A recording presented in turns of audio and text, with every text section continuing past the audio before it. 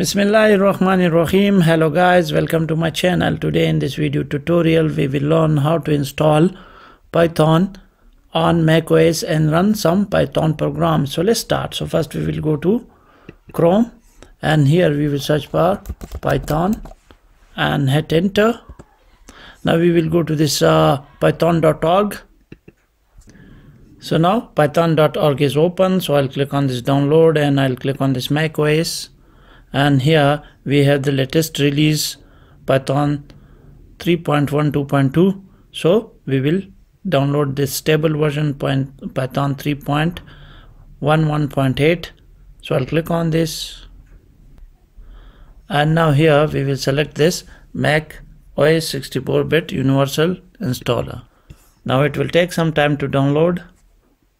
So now the download is com complete. So i'll go to this download folder and I will double click on this to open it. Now the installation is uh, pretty simple. Click continue. Uh, continue. Continue.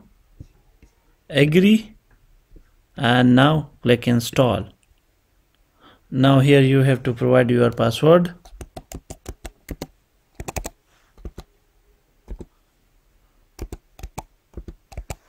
And now install software.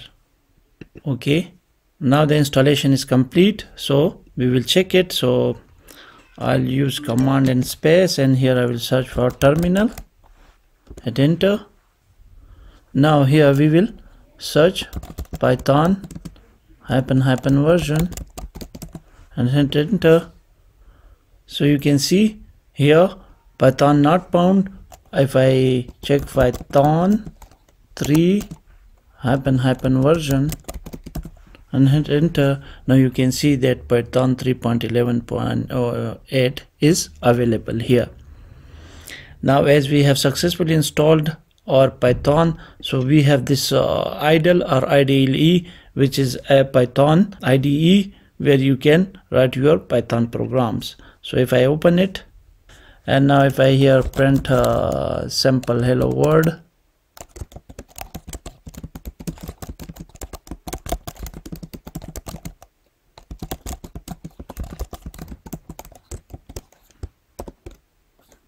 if I hit enter now you can see hello to everyone is printed here.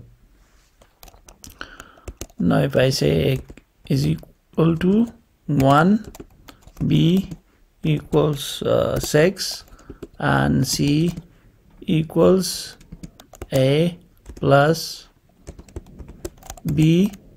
And now if I print c and now if I hit enter now you can see 7 is printed. So in this way you can install python on your mac os and can run python program. So i think that's all for today. I hope you like the video. If you like the video please like subscribe and comment. Thank you